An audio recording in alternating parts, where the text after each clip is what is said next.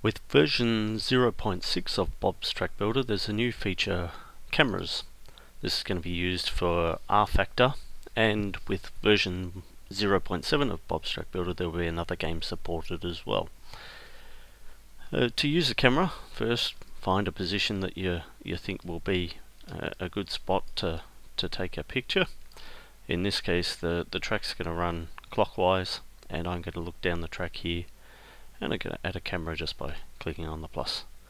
You'll notice straight away that if I just zoom back out a bit, there's two um, spheres being created.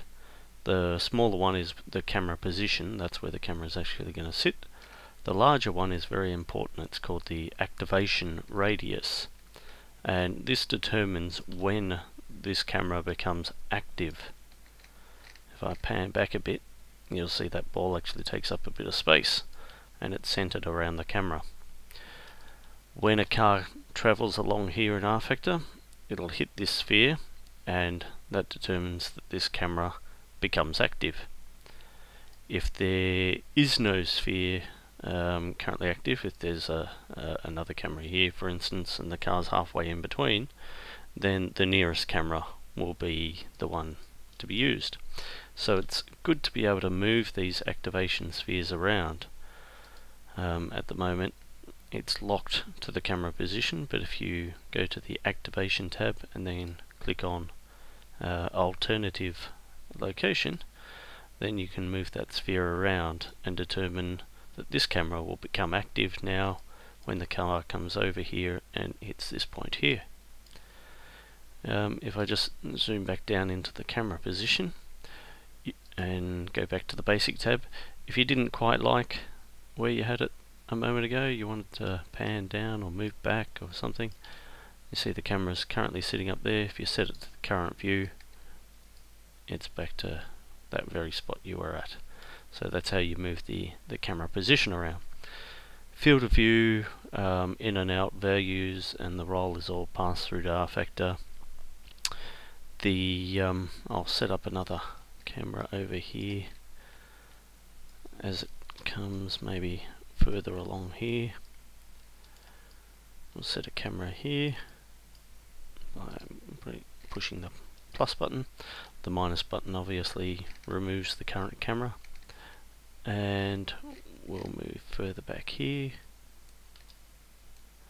And we'll set another camera here on this camera we're going to allow the the movement of the camera not to be centered around that point but instead moving along a path.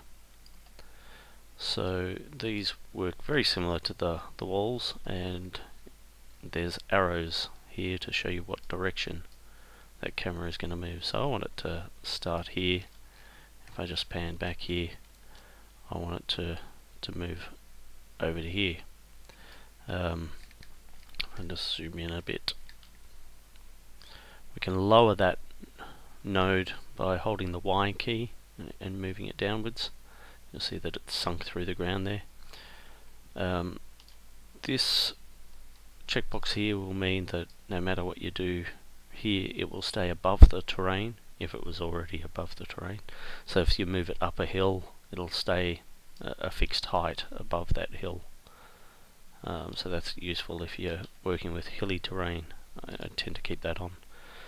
Um, press control if you want to add and change the shape of this camera path so here it's going to um, start off at a higher position and then we can move it down towards the ground just hold Y and move these down and you see the path then going to follow that that um, movement um, if you want to delete a node, it's just um, whatever one is highlighted, press delete, uh, it'll be removed.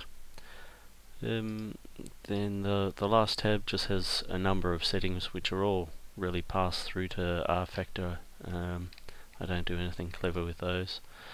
And uh, the grouping allows the camera to be in one or more groups. Um, read the documentation for more information on that. And um, hopefully that'll give you um, one more thing you can do in BTB